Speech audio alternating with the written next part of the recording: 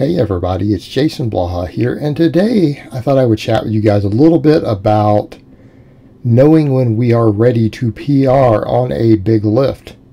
Uh, because this is something that comes up a lot, something people ask me about when I discuss the fact that I don't do the classic lifts unless I know I'm going to PR on them. And it's not a case of me waiting until I think I can PR. We do them when we know we can PR you guys have seen me do the the classic squat and the classic deadlift two times each within the last what year? Right? Twice. Each.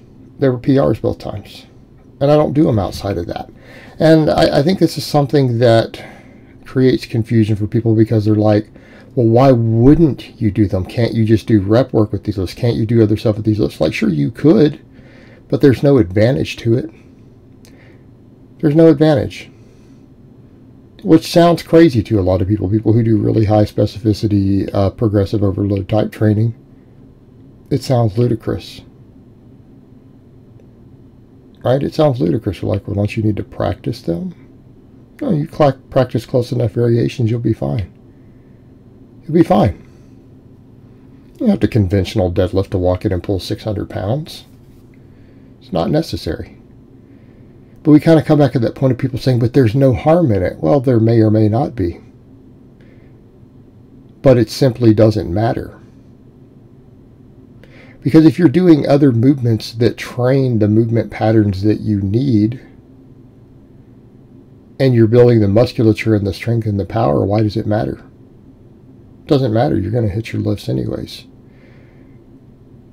Perfect example. You see me doing rep work in the background with a snatch grip deadlift. You don't think that carries over?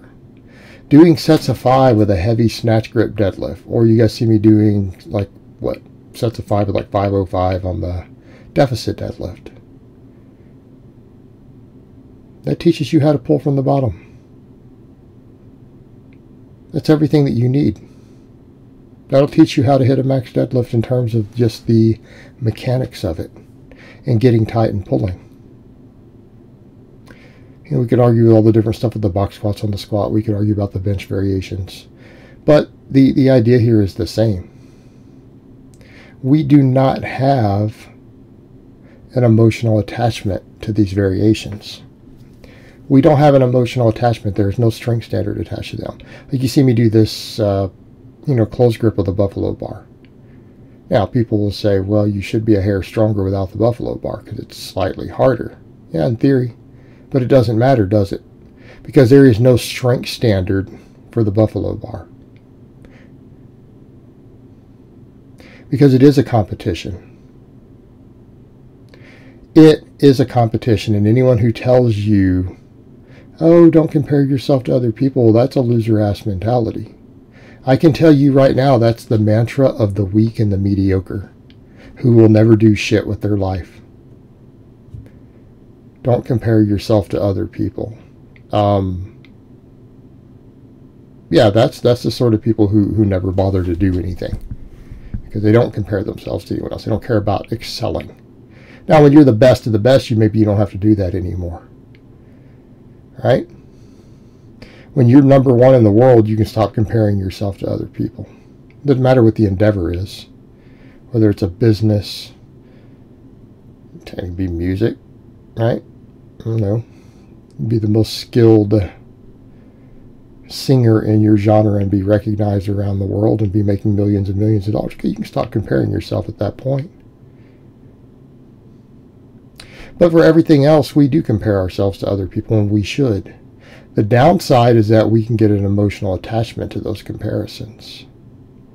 So by stepping away from those classic movements, we can be calm, we can be chill. Because I can tell you what messes up any, any of my own lifters when they get psyched up to come in and max out. It ruins them as a lifter. Like I've seen that break guys. Something I've learned more and more as a coach, I have to make sure my guys understand that. And I, I failed at that as a coach myself a couple times. Because my lifters aren't telling me specifically that they're doing it until after the fact. Right? And that's a problem. But, you know, as a coach, I should be asking. It's probably how we assume certain things. That's why there's certain types of clients I won't take on anymore because I don't want to have to ask stupid questions. Right? I will never take another guy who tells me he wants to be aesthetic and wants to cut down ultra lean.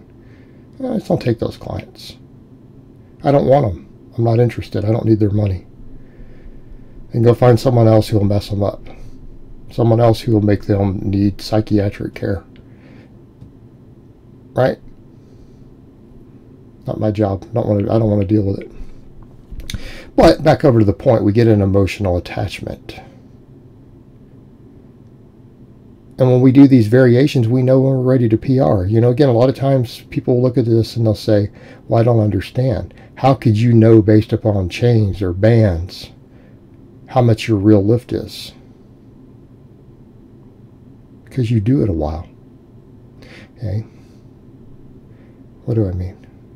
And I'm not saying this is how it works, but it's a pattern you'll figure out. You'll figure out very, very quickly that anytime you hit a lift with a hundred pounds of bands for you personally on a box squat or a deadlift or whatever it happens to be, then when you do a hundred pounds of bands, that you're able to do 60 pounds more of the bar weight next time you do it. So, so in other words, if you hit 400 pounds on that lift with 100 pounds of band tension, you know that your raw max personally is about 60 pounds more than that. So instead of being 400, it's probably 460. So if you come in and you hit 420 plus 100 pounds of bands, and you've hit a 20 pound PR, you know based upon your experience that when you come in and test the classic lift, it's going to be up 20 pounds too. It's going to be 480, not 460. It, it, it's that simple. It is that simple. Is it the same for every person? No. Will it be the same for you? Yes.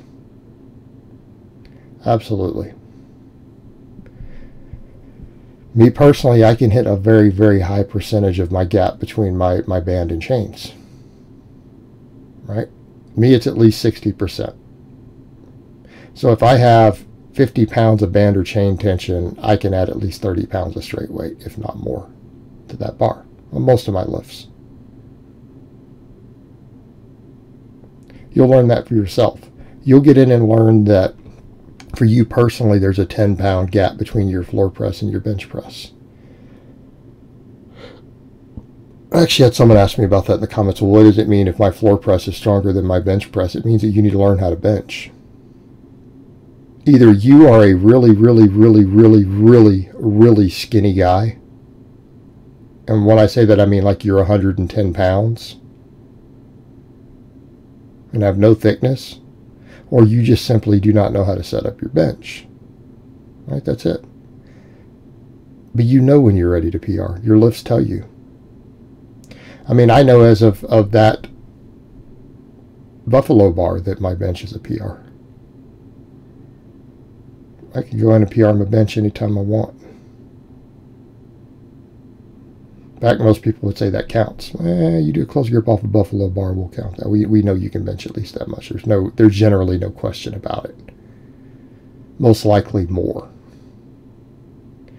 So you count it, right? Person could walk in and do nothing but Buffalo bar benching and then walk into a competition and know they're going to hit at least their Buffalo bar or higher.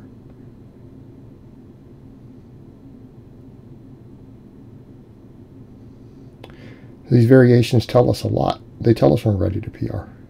But the difference is we do not have any sort of emotional attachment to them. Okay, that matters. And again, let's come over to the other point. These are not high skill movements. I'm sorry that is nonsense that's been sold to you by people who sell programming. Powerlifting specific programming that the classic squat, bench, and deadlift are really high technique movements that you need to practice, practice, practice. Hmm. No, you need to learn basic form on them. You don't need to practice, practice, practice. They're not that technical. They're generally just measures of brute strength. That's why they were picked for powerlifting. Powerlifting is a low skill sport.